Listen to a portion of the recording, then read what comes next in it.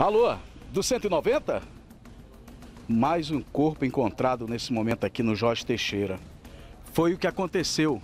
Um morador ligou para o 190 aqui da rua Tangete, no Jorge Teixeira, Zona Leste de Manaus. O que, que acontece? Um corpo foi encontrado aqui, é um cadáver.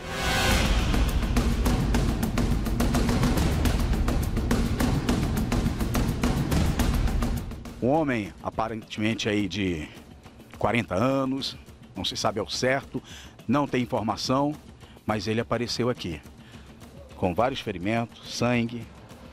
Pelo, pela forma dele de apresentação, percebe-se que é um homem que perambula pelas ruas, ou então foi alguém que bateu, porque ele está muito machucado.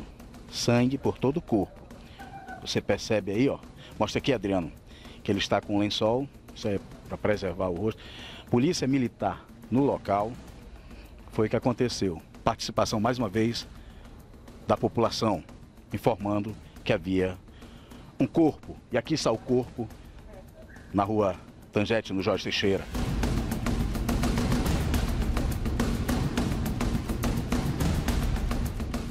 Ninguém conhece, ninguém nunca viu essa pessoa por aqui, mas apareceu nesta rua.